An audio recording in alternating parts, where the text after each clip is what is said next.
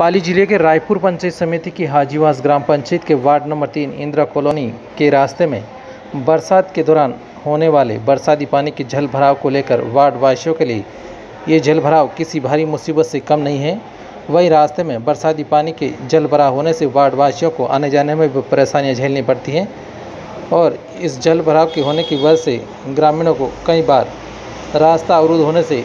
दूर चक्कर लगाकर अपने घरों तक पहुँचना पड़ता है। वहीं वार्डवासियों ने समस्या को लेकर ग्राम पंचायत से पुख्ता समस्या समाधान करने की मांग की है।